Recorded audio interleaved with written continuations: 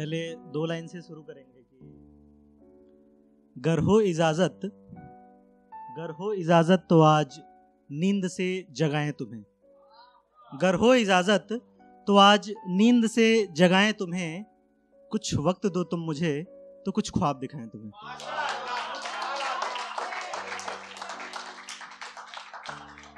और बहुत शुक्रिया। और एक और एक मैंने ऐसे ही लिखा था कि एक बार हमने ऐसा सुना होगा, कई बार कहते कि अगर कोई इंसान खो जाए तो उसे ढूंढा जा सकता है, मगर वो बदल जाए तो कहाँ ढूंढेंगे? तो मैंने जो लिखा था उस पर कि जो तुम अभी हो, वो नहीं हो, जो बचपन में देखा था वो कोई और था। तो उस पर मैंने लिखा था कि कहाँ है वो जिसे देखा था मैंने बचपन में? कहाँ है वो जिसे देखा था मैंने बचपन में? रास्ते थे वही, साथ था वही पर तुम चलती थी जैसे छुप छुप के मेरी अचकन में। नहीं हो वो तुम अब जिसे देखा था मैंने बचपन में। कि आँखों की हया, गालों की सिकुड़न, होठों पर लिए मुस्कान तेरा थोड़ा शर्माता वो चंचल मन।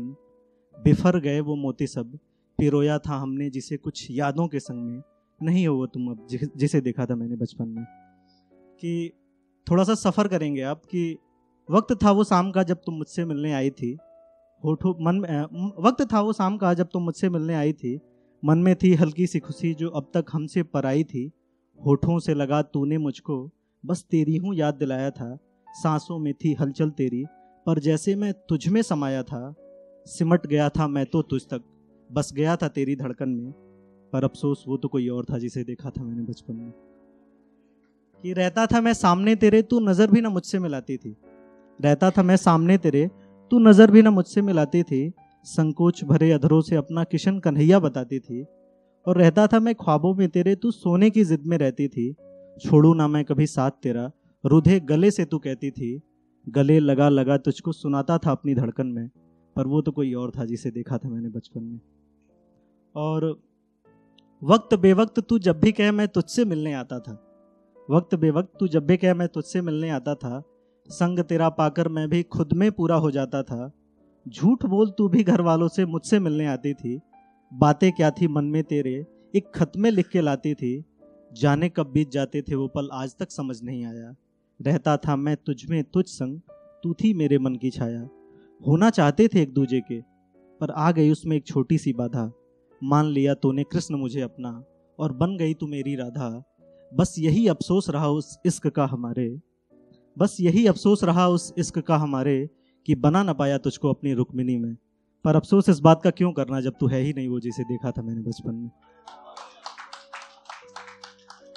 और एक मैंने लिखा था ज़िंदगी पे, जैसे हम जब बाहर आते हैं, घर से बाहर निकलते हैं पढ़ने के लिए या फिर जॉब करने के लिए तो कई सारी प्रॉब्लम्स फेस करते हैं तो उसमें मैंने लिखा था कि जाने किस मोड़ पर लाई है ज़िंदगी।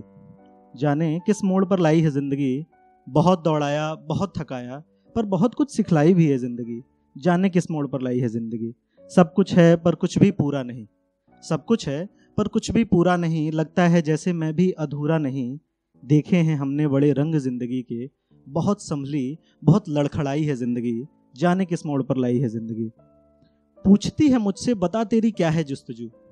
पूछती है मुझसे, बता तेरी क्या है जस्तजू?